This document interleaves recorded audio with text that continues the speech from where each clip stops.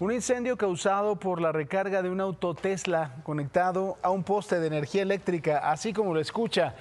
Conectaron el Tesla al diablito. Mire, esa es la mala noticia. La buena noticia es que seguramente para la semana que entra ya van a haber dilucidado cómo se conecta un Tesla a un diablito.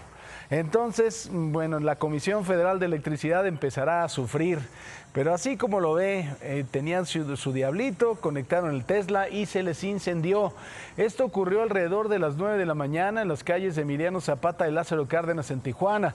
El suceso llamó la atención de los habitantes debido a que el vehículo estaba conectado ilegalmente, como ya le digo, con un diablito ahí en la vía pública. Los bomberos arribaron a la zona y horas después lograron sofocar el fuego por completo, dejando solamente daños materiales sin reporte de personas lesionadas.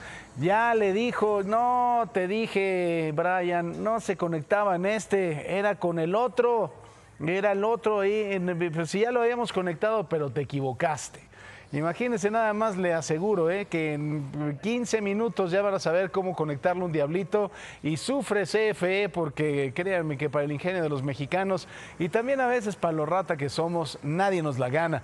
Y respecto a esto, es necesario saber que un poste de luz de baja tensión comprende un rango que va desde los 100 voltios hasta los 1000 voltios. Su principal función es abastecer de energía eléctrica tanto industrias, hogares y también el alumbrado público, aunque los niveles de voltaje pueden estar variando de forma ligera. En el caso del alumbrado público de los hogares se utilizan tensiones que van desde los 110 hasta los 220 voltios respectivamente, mientras que la industria puede emplear voltajes arriba de los 400 voltios.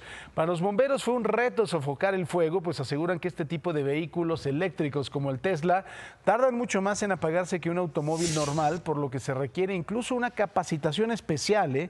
para atender la situación.